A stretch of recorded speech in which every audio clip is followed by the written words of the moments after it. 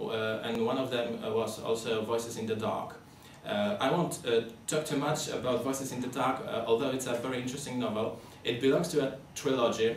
Uh, the trilogy consists of Voices in the Dark, which in my opinion is the best one, um, Austeria. Austeria, if you don't know, is the place where you know Jews in ancient Poland could come and have something to eat and drink, more or less, to have some fun. Um, also to dance. And uh, the third part is uh, Sen Azrila, the Az Azriel's dream. Azriel is a name. And um, since my, one of my students wanted to write a thesis uh, under my supervision, you know, about Stryjkowski, and I read Only Voices in the Dark and Austeria, I had to read uh, Azriel's Dreams also. And I thought that it would be on the same level. Unfortunately, it was so boring. It was, in, it's incredibly boring, this novel. Uh, maybe, you know, maybe if you study uh, Jewish traditions, maybe it's interesting for you because all his books represent Jewish traditions. And this is uh, what I would call, in Freudian terms, the, the grand return of the repressed, okay? As, as I was uh, sketching the whole uh, story of uh, Stryjkowski's rejecting Jewish tradition, right? His most important novels all represent the dead world of, uh, that, that did not exist at that time of Jewish customs, of Jewish traditions.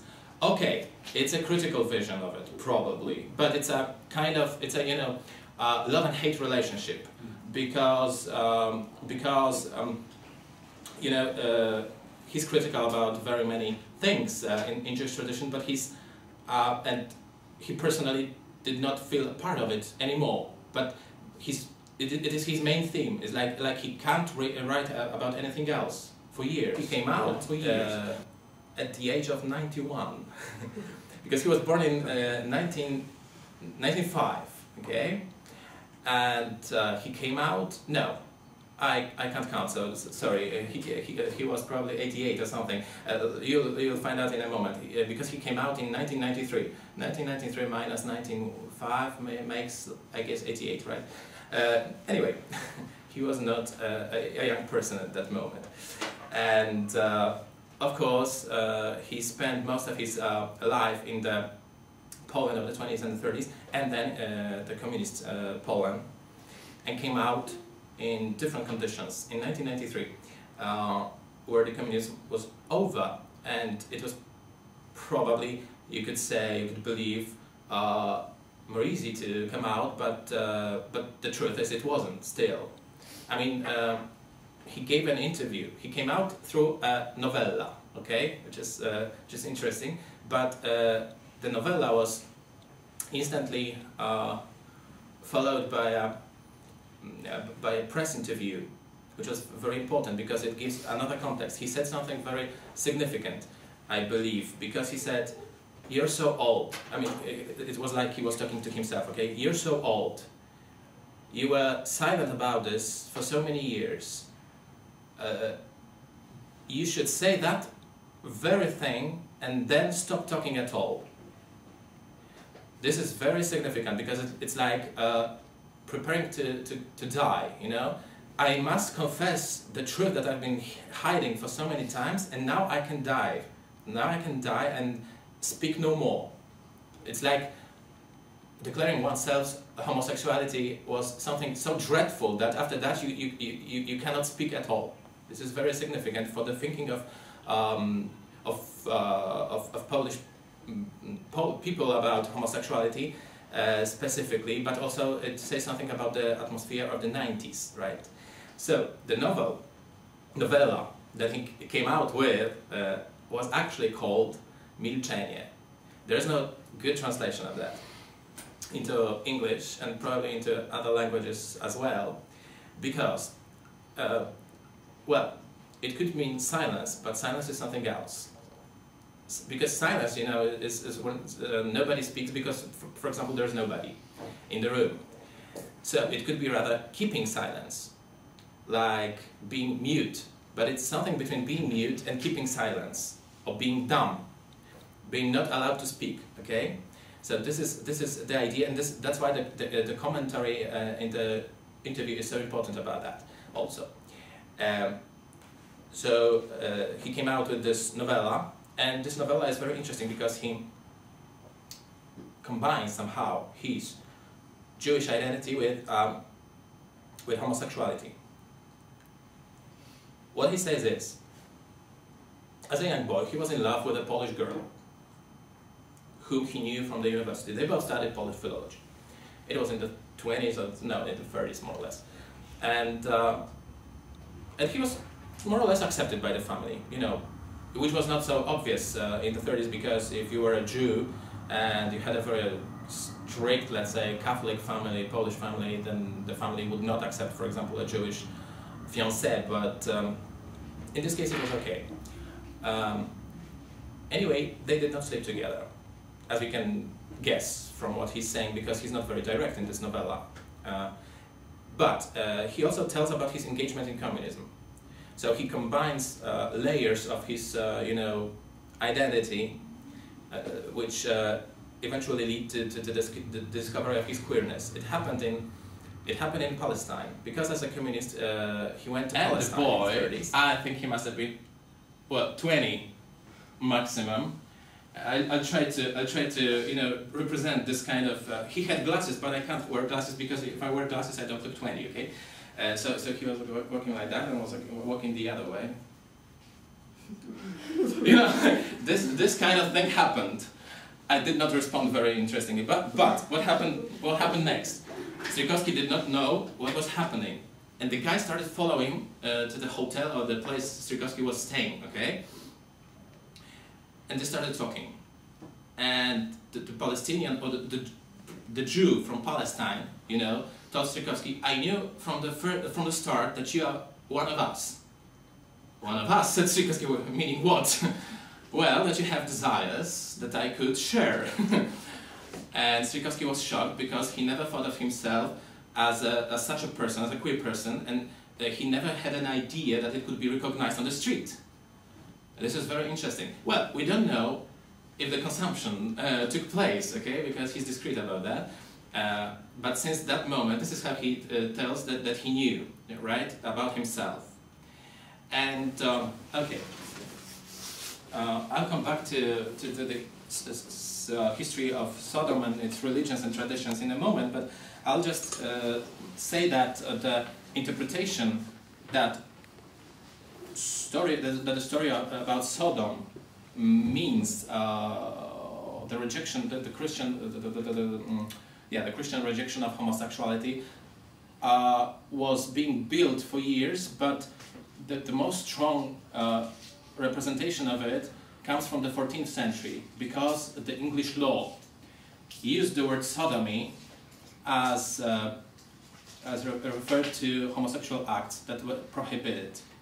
So from the 14th century, we have the tradition of judicial persecution of homosexuals under the name, not only homosexuals, uh, but um, also homosexuals under the name of sodomy.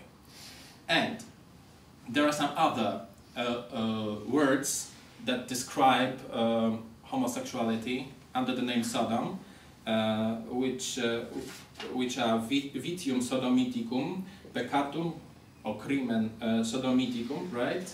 Um, vitium contra naturam or peccatum contra naturam, like the sin against nature, which is a, as Boswell explains, it's actually a translation of the St. Paul's expression paraphysin, and paraphysin does not mean contra, contra naturam, it means like uh, a step a step apart, okay, which is not the same, but anyway, so it's a wrong translation. And then we have peccatum mutum, peccatum mutum, which is dumb sin. And uh, I'll read from this book that I borrowed from your library, uh, Sodom and Gomorrah, right, and the everyday reality and persecution of homosexuals in the Middle Ages.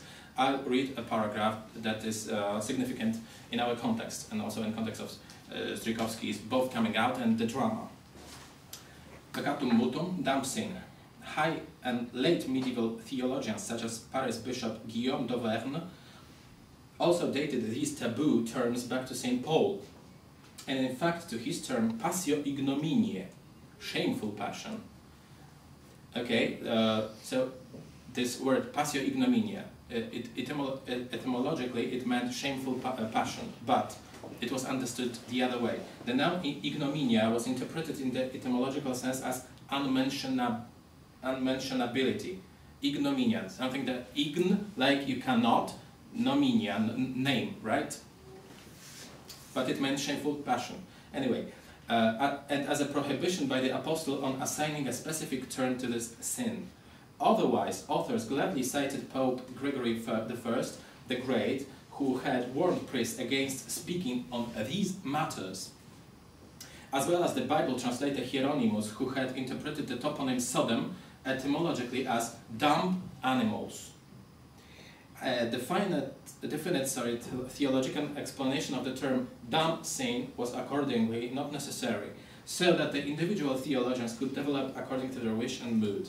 The well-known late medieval penitential preacher Berthold von Regensburg regards the dumb sin, which he also calls the red or the crying sin, as the summit of all offenses. He prohibits himself from spreading further information about it. Many startled believers were in fact not in a position to interpret the preacher's allusions and full of scruples turned to the preacher with the words, Brother Berthold, we do not know what you mean. To this he replied laconically, You see, this is what I want most of all. This thing, however, he added mysteriously, is so frightful that neither God nor man, not even the devil in hell, could give it a name. As a result of it, five powerful cities were once reduced to rubble and ashes, and anyone who is stained with it is like an outcast who is forbidden to touch dishes and food. Um, I think I've also seen a, another version in, in Latin, but my Latin is quite weak. I'll I think it, it went like this. Okay, I'm not concentrated. Illud, no, illud crimen quid inter homini non nominandum est. Something like that. I guess you, you yeah, you, you, you understand that this is a horrible sin that should not be named among Christians, more or less. Meaning homosexuality, no, sodomy, okay? All right.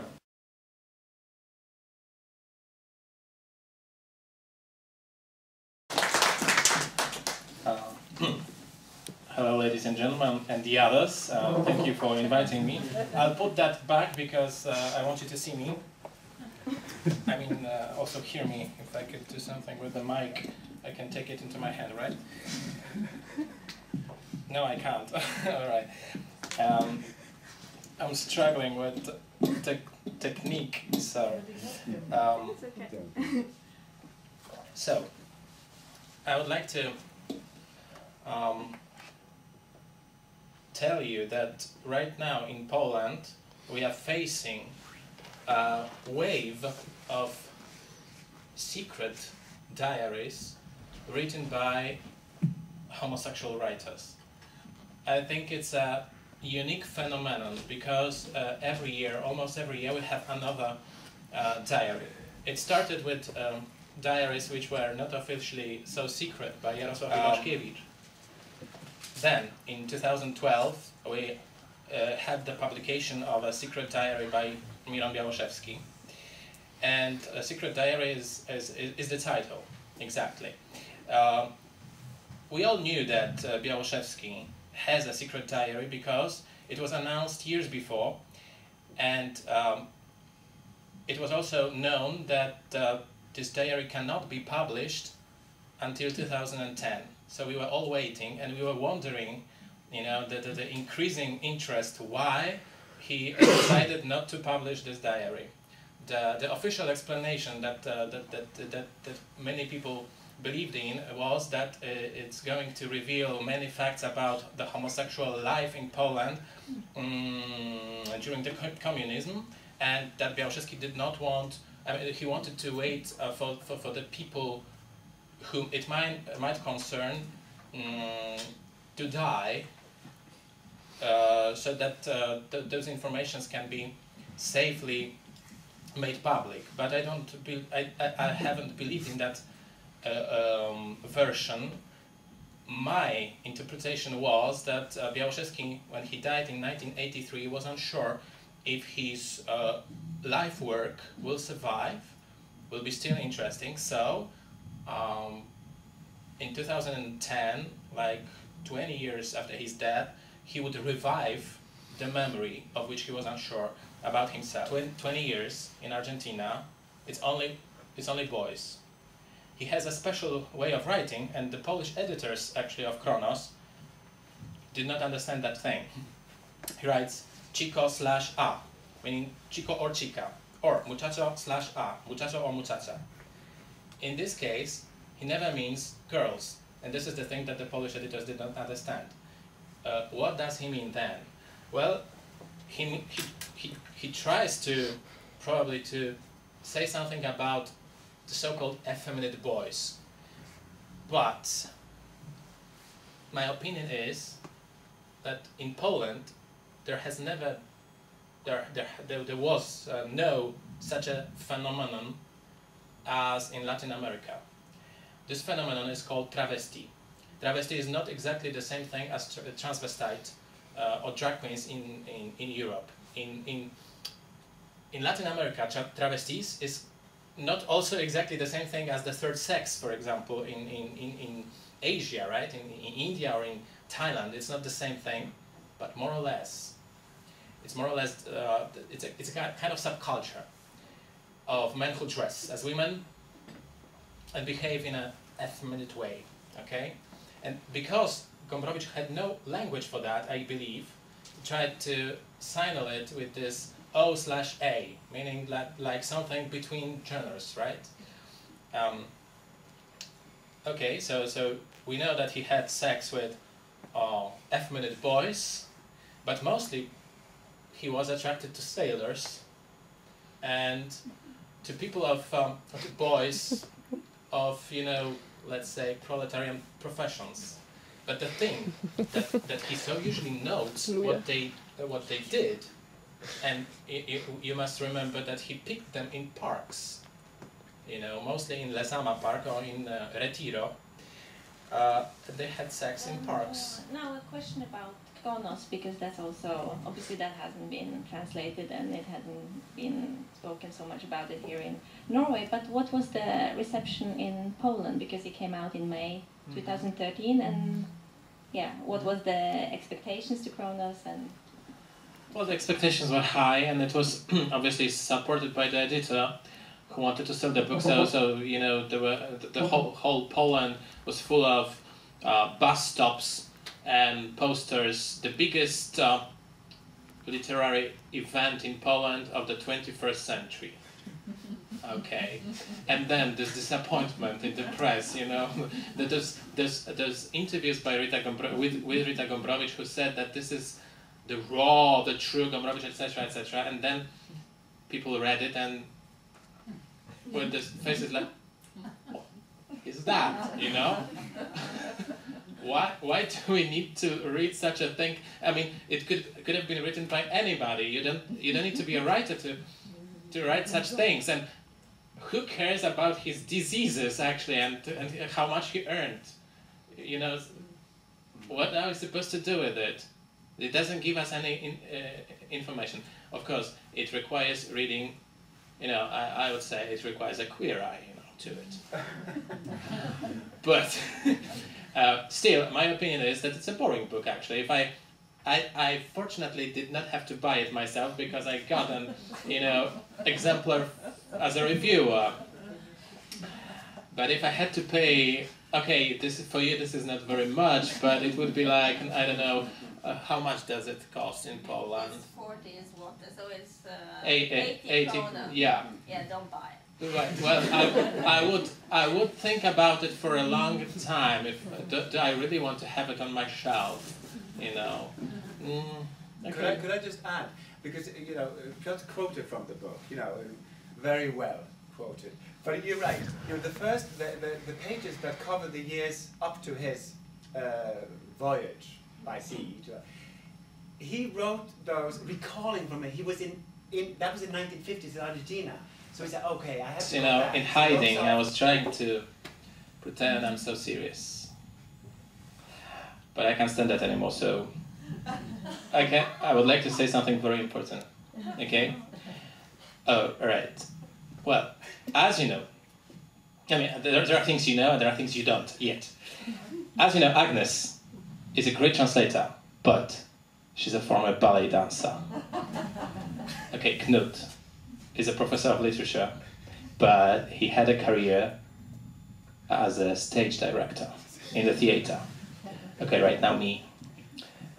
Well, I used to be a singer. I haven't finished yet. So, it's just a moment before the official conference press, but you'll be the first to hear it. We decided to make a musical out of Kronos.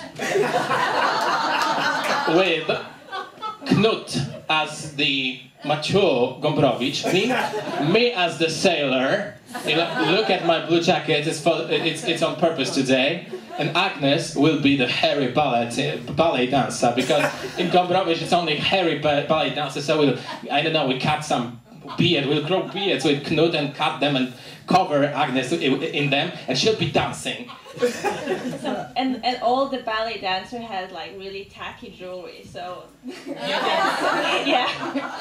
So, so, so I wanted to dress in the part. Yeah, yeah, we are rehearsing right now. So I'll be singing, you know, Marinero, Marinero Si, a, a disco song from the 80s. Knut will be looking at me with desire, and Agnes will be dancing around and we, I, I, have a feeling that it's going to be huge. We're going to present it in Poland. We're going to present it in Oslo Opera House. Okay, be there.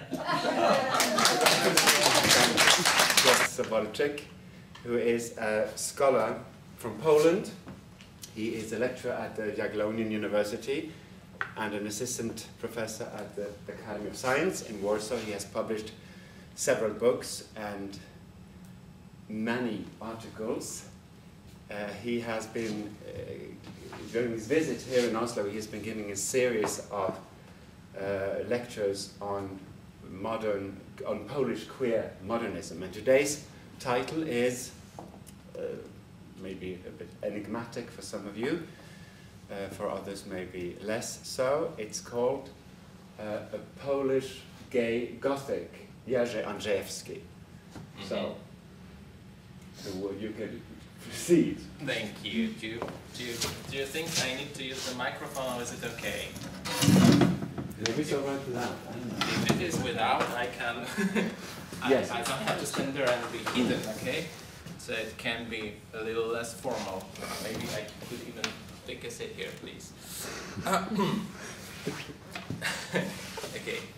Uh, first of all, Jerzy Andrzejewski was considered one of the biggest writers of the Polish modernism after, especially after the Second World War.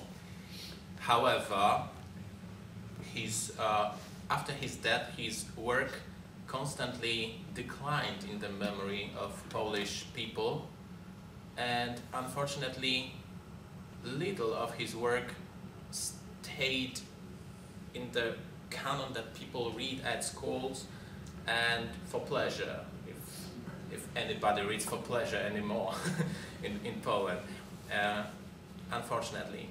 Uh, so, I will talk about some of his works in more detail, but first of all, this uh, concept of gay Gothic or queer Gothic should be explained. It's not my invention.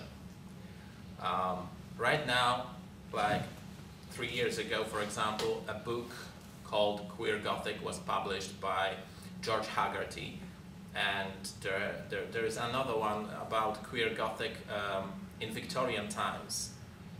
Mm, also, pu book published, scientific book, but mainly the, the researcher who introduced uh, the idea that Gothic novels, English Gothic novels, have something to do with homosexuality and homophobia was Eve Kosofsky-Sedgwick, the pioneer of queer studies.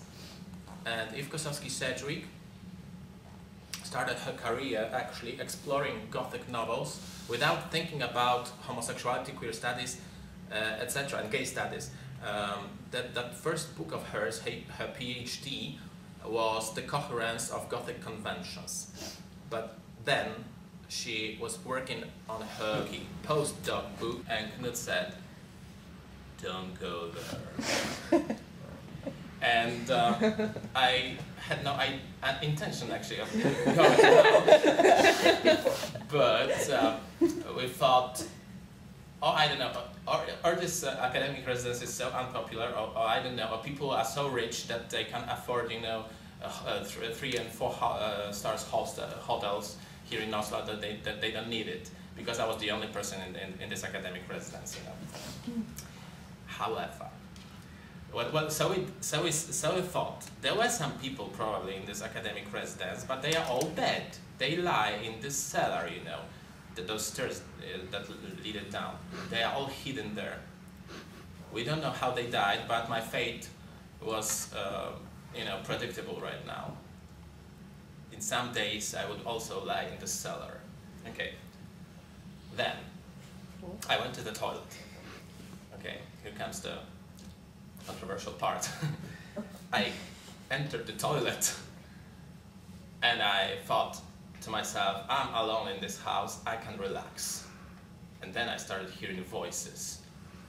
You know, voices like people in the house. I don't know who they were because there was, there was absolutely nobody in the house. I think there were, there were ghosts, okay? Uh, those were the ghosts of, of dead academics and maybe even uh, of Jerzy Andrzejewski. Um, who were very interested in what, what I was doing, you know, in this taboo, intimate situation. Of course, when I came out of the toilet, they disappeared. But the floor during the night was squeaking all the time. You might say it was the wind, but I'm not sure. All right, so we have the classical Gothic situation, and the classical Freudian analysis serves it too we have a spooky house and uh, we have a paranoid situation. And if Kosofsky Sedgwick says, oh, okay, dead bodies downstairs, right? If Kosofsky Sedgwick says, we all know the expression, to be